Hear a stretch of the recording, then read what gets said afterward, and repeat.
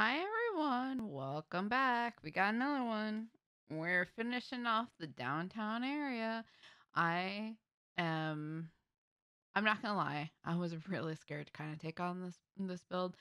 I just I was like, the downtown area looks so much different than this house. How am I supposed to make it fit? But we made it fit. We we I, my friend Gecko and I we kind of sat here and chatted for the first little bit of me doing this renovation and um decided that you know it's not uncommon to have museums be state houses. So I was like, all right, we're gonna keep it a state house. Um, it does change. It grows a little bit. I I think I actually make it a little bit wider, and I do add an addition on. It just it felt like it needed it, but um, turned out so pretty. I'm not even gonna lie. Like, not to toot my own little horn here, but my God, I am so happy with the way this turned out. Um, it just it is potentially the state house of my dreams. You're gonna see me. We I did this after the new update where we added in curved walls, and I was desperate to use curved walls. We wanted to add on like this little modern addition, had some curved walls. In the end, we actually end up um making them normal walls, mainly because the window situation. Um, there was no windows that fit a tall wall height that looked good for the purposes that we needed. There was none. So we made them the regular walls so we can use any windows that we wanted in base game, and it it still has the desired effect. It just we want we were desperate to try to use the uh, curved wall there, but it wasn't in their cards. But you're gonna see me try to figure out the layout here. I we discussed and we're like, what what does a museum have? And we decided that um well I decided that I wanted to have a gift shop and I wanted to have a cafe because those are very much found in museums. A hundred percent. Now, are they functional? No. But it does give your sim a place to grab some snacks if they visit a lot. Um, there is a computer, so if they need to use that, they can. It just it just adds a little extra skill building when maybe um you can see me struggle with those those windows right there. They did not want to sit on the curb, beat, and it was just painful. Um, but uh yeah, it just this is like a museum I would love to just work in. Um, probably none of you really know, but museum work is actually my background. I got a degree in that. Um, I was actually very lucky to work in a museum. Um, not in a state house, but a non-traditional museum. I worked in the Roman Bath Museum in Bath in the UK. And that is a very non traditional setting museum because it's set in the Roman baths. So, like, this is like near and dear to my heart because obviously I loved, especially when I was in the UK, going to these museums set in houses.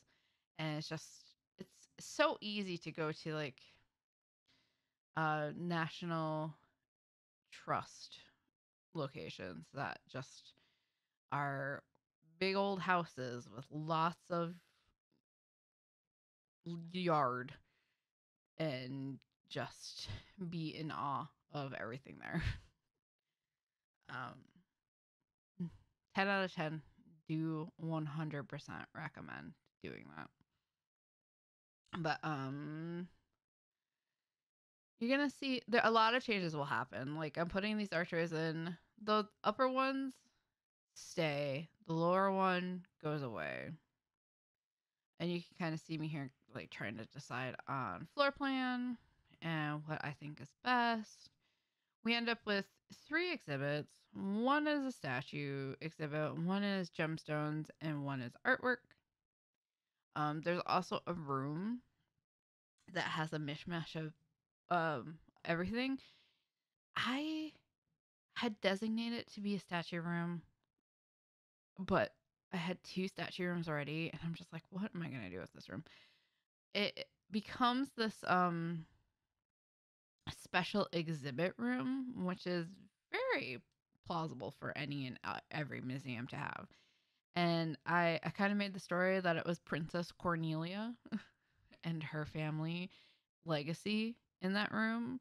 Um, she, we have her jewels. We have a statue of her as a child and as a young adult. We have um her family invented the ray gun. like, I, that one might not be. I mean, that one's clearly not correct, but it was really fun making up a story for a special exhibit. Um, you can see in the cafe here, I put in um, a microwave and a refrigerator because that's about as much cafe as the base game has. And, you know, we, we kind of have to live with that. But uh, I'm sure if you had like the city living uh, pack, you could definitely switch out that one counter for like the espresso counter instead of being a bar and work just just as well. Um but this was I know I've been saying it for all of them, but genuinely this one was amazing to work on. Um it was so different from the last couple builds too, which I think made it better for me. And then you're gonna see, um, basically, I mean, it's just me placing down statues. I tried to keep themes in each of the rooms, so like that little front room is kind of like handcrafted stuff. So a lot of the woodcraft statues and things go in that room. I think I have mod like two modern art pieces in there too because there's really just like no place to put them. um, and then the room next to it, I just kind of it's kind of a hodgepodge. There's really no no real theme. But um yeah, it, it, it's just all it all works out very well. I am curious to see what I'll end up doing for Oasis Springs Museum, but that's neither here nor there. We still got houses to renovate. Um, I think the the proudest thing from this build specifically is how well it looks, and it's all base game. Like that it blows my mind sometimes that I can make something look so good just using base game. Like you you look at the outside of this house and you think no. But with a little time and a little like research into how you want things to work, it looks so good and it's all base game. Um, you're not going to see any of the lot, uh, landscaping outside, mainly because I know it's going to take a long time. so I just was like, I'm not, I'm not going to subject you to the horrors of me trying to landscape for hours. Um, but you'll see it in, we'll do the live overview. You'll see the landscape. There's going to be uh, a gazebo out there with the um, easel. There's a couple little spots where you can sit. There is going to be like a community garden area out there too. I thought that would be really fitting for a big old mansion to have just like community garden area, not only for the cafe to use stuff, but for the town. And that seems like something that would really happen in a house like this. Um, and a lot of the landscaping I use is going to be debug. Now, the rest of the builds I've done so far really haven't had debug in it, but it just there is so much to fill in. I felt like it was just kind of needed. So it is pretty heavy on debug. This oh pardon. It is pretty heavy on debug landscaping and um I'm sorry? Question mark. I'm not sorry. I think if I didn't use debug landscaping, I would have cried. So, um you could see me scrolling through trying to figure out what I wanted. I want I thought I wanted planter boxes there and then I realized I'm like that's not the vibe. Uh, but here's a little gazebo. This basically stays the same. It's just gonna get landscaping around it. Um, and yeah, it was really fun. I think the next project I'm gonna take on is probably the park to finish off all the community spaces. Um, I'm terrified of the park. It's such a big lot, but I will figure out something um, and try to make it mildly different from anything you've seen so far. But, you know, that is neither here nor there. Oh, and you can kind of see me plotting out the little community area. That stays the same, it just gets landscaped around. It does get different um, terrain paint though, so that will change. But, anyways, we are coming to the end of the speed build part. And I will see you in just a few moments for the live overview. All right, and here is the finished product. You're going to notice that a lot of the landscaping is done off camera. Landscaping took me like two hours. It was a lot. Um, but I think it turned out really nice. I won't put it into daylight.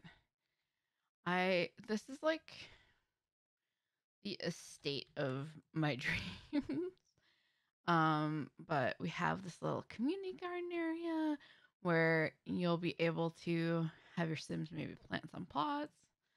Um, I didn't put anything in there. That way you can, depending on what season you place it down in, you can do your own, however you want to do it. Um, and then we just have like a little kind of garden like area over here that that shouldn't have anything on there. Why are you there? I was playtesting this and I think a sim started to uh paint. But yeah, it's just a little little garden space. And then if we go I really love how this turned out. This is like what this building should have been. But if we go on the inside, we'll just take a quick tour, a little overview. You walk in. If you head over this way, we have the statue area, which let me just tell you, like finding enough statues to make a museum look good, but also not reuse them, so hard. so, so very hard. But I think this worked out really great. And this is the little exhibit area, special exhibit area, which I think turned out really well. It definitely fits the vibe. Um, little exit area. Here's those bathrooms. Uh, I can't remember if it was in the footage or not, but this I put a shower in here one, it's always good to have like one woohoo spot, right? At every location. But this bathroom was going to end up being huge. And I just kind of wanted to fill in the space a little bit. So I got a shower. Um, if we head back this way, this is the quote unquote gift shop. All of the stuff your Sims cannot take. I have playtested it. So it should stay here. Um, unless obviously you have a sim that's a kleptomaniac and they're able to steal stuff. But for the most part, they can't just come and like grab these debug books. It's not a thing. Um, but there is a computer there, so there is a little bit of extra skill building here. This is the cafe area. Obviously, it's not a functioning cafe. Like this is a bar, and um, you know, you can get like quick meals and snacks and stuff, and that's about as much of a cafe function as this has.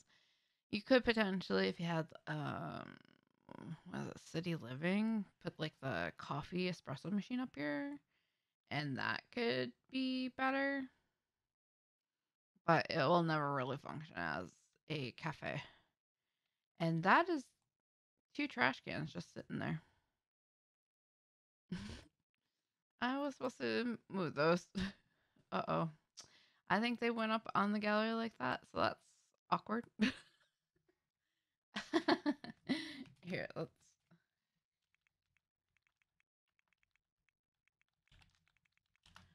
I may end up re uploading this lot then because that's just not the vibe.